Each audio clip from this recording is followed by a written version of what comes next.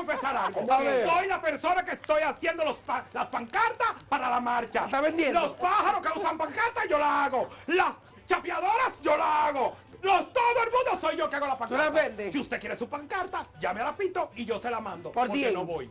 Ok. Así que se... Oye, eso de que, que no va tú. Y José Anel sí va para allá.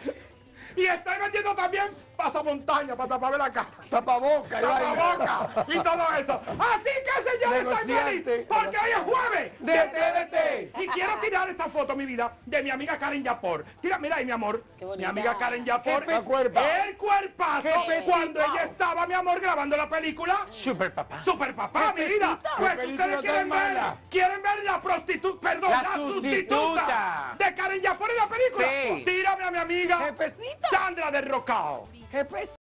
No es Señores, culpa, ahí lo está. Karen Yapor, eh, ahí está, ay no. Sandra. Ahí está Anda, Sandra Berrocal, que está sustituyendo a Karen Yapor ¿Y la en misma la, ropa? en la película, en la misma ropa, amores, porque es el personaje. ¿Y son los mismos cuerpos? Así que, mi amor, es por eso fue que mi amiga Sandra se puso a dieta. Jefecita. Porque ella estaba vaca, amores, y cuando se enteró de que iba a ser el papel de Yapor, se puso a dieta. Sí, Eh, el si cuerpo. quieres tirar la foto que siga para yo irle dando, porque no voy a estar pasando vergüenza.